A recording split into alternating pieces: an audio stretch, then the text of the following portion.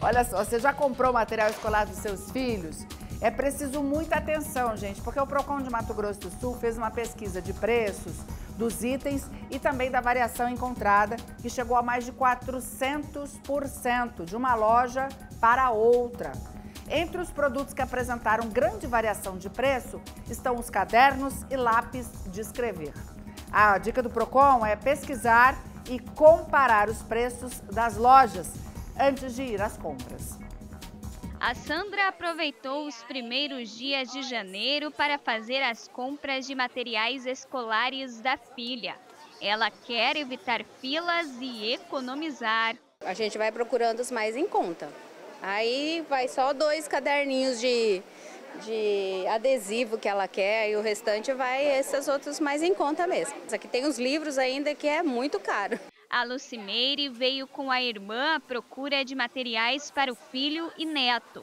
Elas olham os preços com atenção e não compram nada antes de avaliar o que está mais em conta. Fazer pesquisa primeiro, aí depois a gente decide e vem. Uma pesquisa do Procon de Mato Grosso do Sul aponta que um mesmo produto pode ter um valor bem diferente em determinada loja. 17 itens foram analisados em 10 livrarias de Campo Grande e, segundo o levantamento, a variação de preços pode chegar a mais de 400%. É o caso do apontador de lápis um furo, vendido em papelarias no centro com valores entre 30 centavos e R$ 1,65.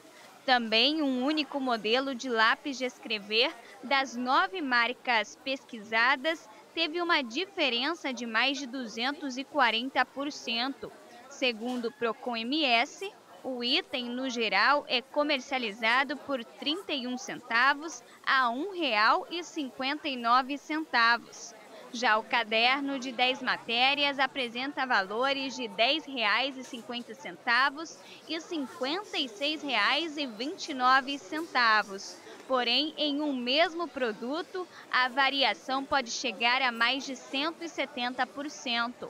Nesta loja, na região central de Campo Grande, o proprietário teve que se organizar com antecedência para tentar não repassar o reajuste das mercadorias aos clientes e não encarecer os produtos. Quando acaba um volta às aulas, a gente já começa a preparar para o outro. A gente consegue se programar desde cedo para ter um preço melhor, um atendimento melhor, repassar o, o menos possível do, dos reajustes para os clientes.